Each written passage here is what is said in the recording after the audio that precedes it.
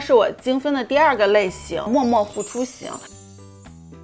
他们对待朋友其实都是百分之百的，但是你在生活中却友情和爱情都感觉不到，甚至会觉得他们有点冷冰冰的。他们就是金牛座、巨蟹座、双鱼座和处女座。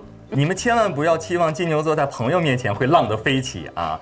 他们呢，其实，在感情里面，这个友情方面也是一样的，同样是保持那种内敛沉默的。金牛座就是一个字儿，闷到底。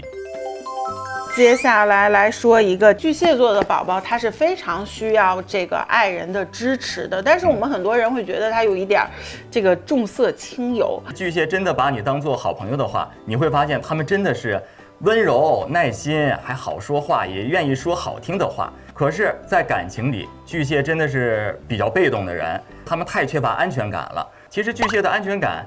嗯，是需要耐心的去呵护的，也希望大家一起来守护我们的巨蟹座宝宝。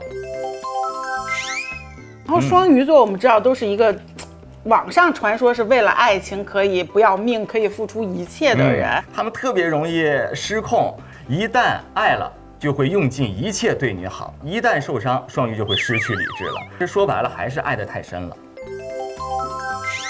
接下来来说说咱俩这个星座吧，就是很多人都觉得咱们处女座嘴又。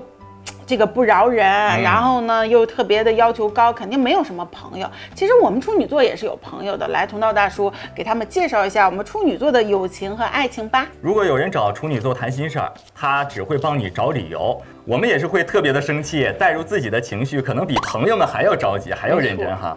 但是对待恋人的事情呢，也会是这样。有的时候呢，会显得处女座呃有点严格，千万别嫌麻烦啊。其实这是因为太爱你了，处女座们才会想要对你负责。